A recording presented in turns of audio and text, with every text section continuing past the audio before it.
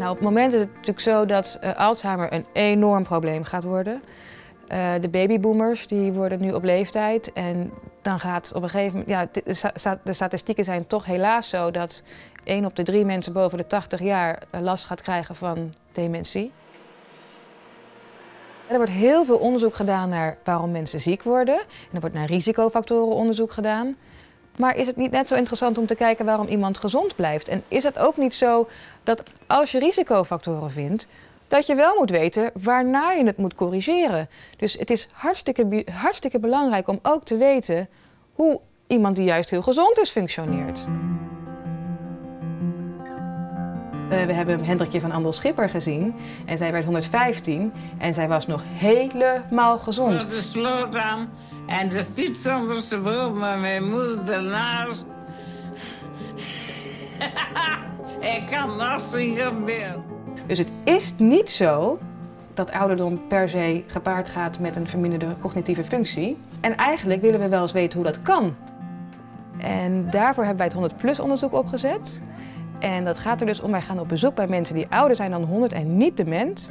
En we willen dan ook dat er zoveel mogelijk familie aanwezig is, zodat het allemaal duidelijk is. Nou, heel fijn dat we mochten komen. We zijn hier voor het 100-plus onderzoek van het VUMC Alzheimer Centrum. Naar 100-plussers zoals u, die al wel heel oud zijn, boven de 100, maar niet dement, gelukkig. Uh, en verder is het natuurlijk zo dat we graag willen weten, zit er ouderdom in de familie? He, en vooral ook mensen die oud zijn, maar niet dement. Komt dat vaker voor in de familie? Kunt u mij vertellen in welk jaar uw vader is geboren? 1880. En we zien dat dat toch heel regelmatig voorkomt. En dat soort dingen willen we dan allemaal helemaal in kaart brengen. Van wie is zijn zus, wie is zijn broer, van, van ouder, van vaderskant, van moederskant. Zodat we dat uh, mee kunnen nemen in onze analyses. Het was echt in de tijd van uh, grote crisis met kolijnen enzovoort. Ambtenaren ja. 5%. Want welk jaar hebben we het dan over? Uh, 1929. Dus dat was echt in de crisis? Ja, echt in de crisis. Ja.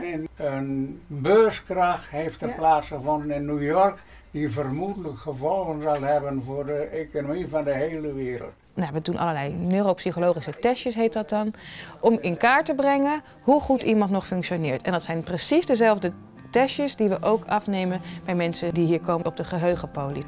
Ga ik u vragen om iets te tekenen voor mij?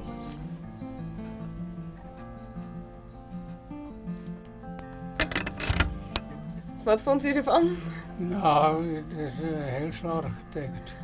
Wilt u zoveel mogelijk groentesoorten opnoemen? Ja. Oké, okay. begint u maar. Sla. Spinazie. Boerenkool. Het erfelijk materiaal bestaat eigenlijk uit 3 miljard datapunten van je vader en 3 miljard datapunten van je moeder.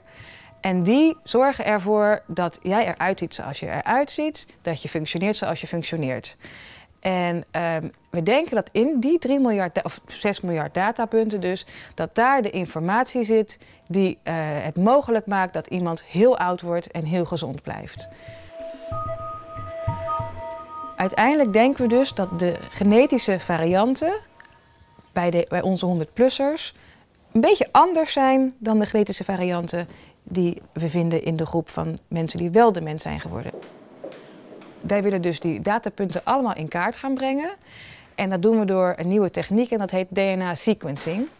En wat we dus willen gaan doen is we willen kijken naar de mensen die, waarvoor dit dus geldt. Dus die heel oud zijn en niet de mens. En we willen hun genetisch materiaal in kaart brengen en dat afzetten tegen mensen die jong wel de mens zijn geworden. Want we denken dat in, die, in dat grote verschil, dat daar het antwoord wel eens zou kunnen zitten in hoe die cellen anders functioneren. En in dat verschil, we denken dat daar, nou ja, dat daar aanknopingspunten zullen zitten om het te verklaren en misschien ook wel om aangrijpingspunten te zien waar we misschien een medicijn voor kunnen ontwikkelen. Uh, ik denk dat ik zeer zeker nog tien jaar uh, zoet zal zijn met het onderzoek. Maar het is natuurlijk wel zo dat we zijn nu het cohort aan het opbouwen. Het cohort van 100-plussers die niet de mens zijn. Uh, ik denk wel dat over vijf jaar is dat cohort misschien nog steeds groeiende. Maar hebben we natuurlijk verschillende lijntjes uitstaan. En hopelijk zitten daar ook hele mooie lijntjes bij. Waar, omdat wij bepaalde ideeën hebben opgedaan. Uh, die we kunnen uitwerken in het laboratorium. Dat, is wel, dat hoop ik wel. Ik hoop dat ik over tien jaar uh, meerdere ideeën heb, al, heb en heb uitgewerkt. Die ergens toe zullen leiden natuurlijk. Ik vind oud worden, dat is hartstikke leuk. Maar als het op een manier wordt waarop het cognitief niet meer functioneert, is dat helemaal niet leuk. Dus ik vind het oud worden op zich geen doel, maar wel het gezond oud worden. Zeker cognitief gezond worden, wel een doel. En daar wil ik me graag voor inzetten.